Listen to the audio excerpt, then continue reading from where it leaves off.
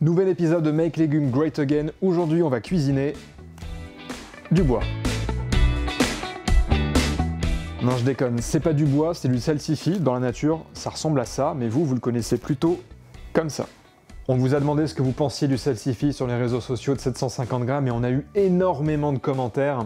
Immonde, burk, fade, cantine. Clairement, ce légume, il vous a traumatisé à la cantine. Pour moi, j'en ai plutôt des bons souvenirs. hein. Non mais les gars, je vais pas manger ça, j'ai même pas de fourchette là.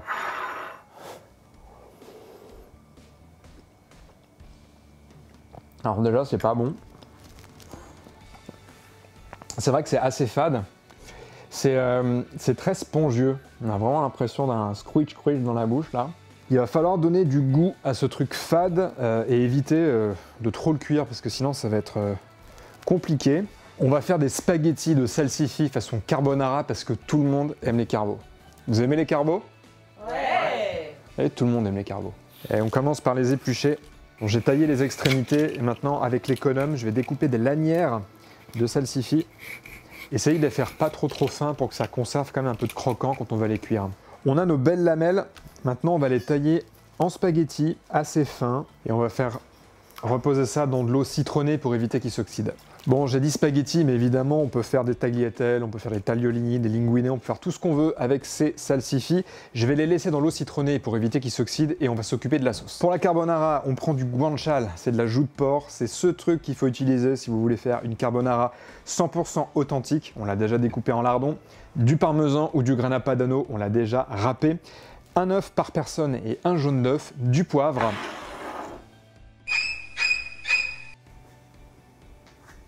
Non les gars, il n'y a pas de crème dans la carbo. hein. Le guanciale, on va le faire revenir sans matière grasse, parce que c'est déjà bien gras. Et on n'hésite pas, il faut que ce soit bien coloré, bien doré. On ajoute nos œufs. On n'hésite pas à en mettre, il faut que ça soit gourmand.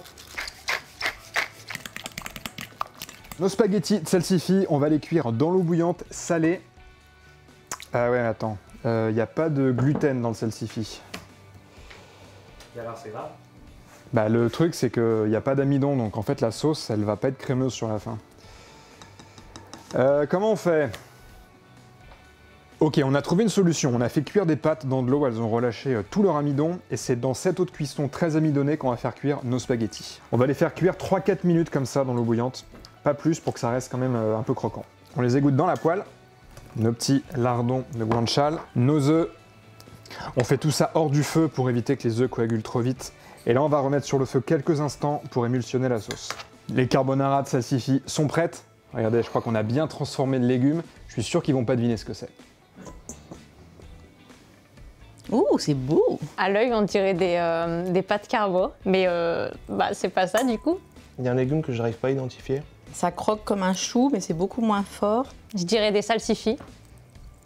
Salsifis euh, façon pâte carbo. C'est plutôt bon. C'est super bon.